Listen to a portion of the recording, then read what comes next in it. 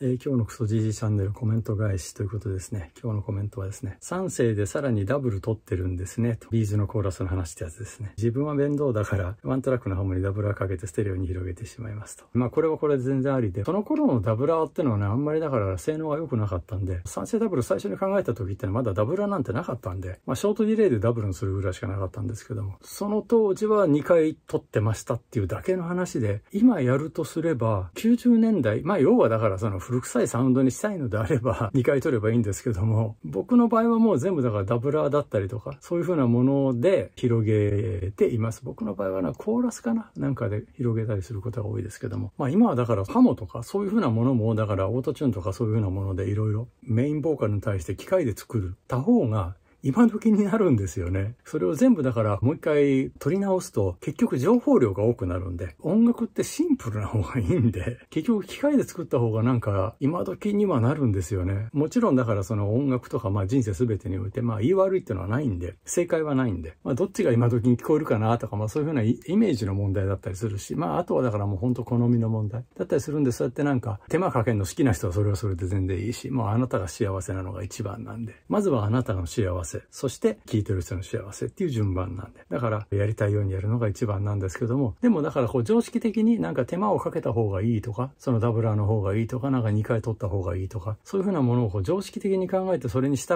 うっていうそういう姿勢は、あんまり僕自身は個人的にはお勧めしないかなってのがあるんで、あの自分のもっと感性を、どっちがいいのかなとかね、何が正解なんだろうかなっていう、そういうふうななんか発想とかってのをや、しないのが僕は一番いいのかなって思ったりします。で、このあの90年代っていうのは3世でダブルで撮ったんですけども、3世のダブルに対してですね、さらにあのピッチトランスポーザーっていうやつで、ピッチをちょっと変えるんですよ。片っぽちょっとフラットして、片っぽちょっとシャープすると、さらに広がるんで、0.003っていうのと0.997ってやつが、えっと、AMS だっけなっていうピッチトランスポーザー。当時のだから、ものすごい高い、なんか何十万円、100万円ぐらいするようなピッチトランスポーザーっていうのがあってですね。で、それを必ずかけて、もう必ず1.003って0.997でしたね。それに対して、えっと、ディレイをまた左右に分けるんですよ。で、それが8分音符と普天8分音符。それを左右にかけて、で、しかもだからそれをこう左側の、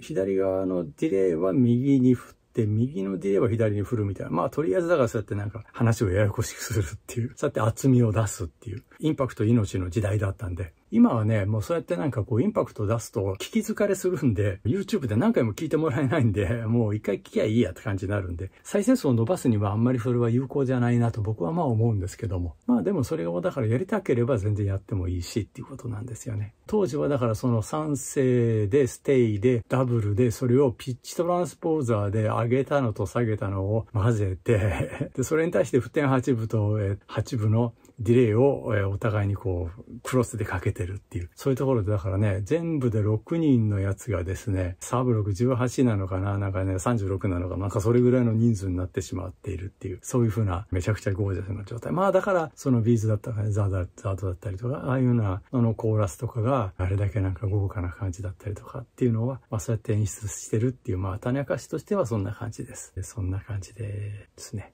じゃあ、はい、ありがとうございました。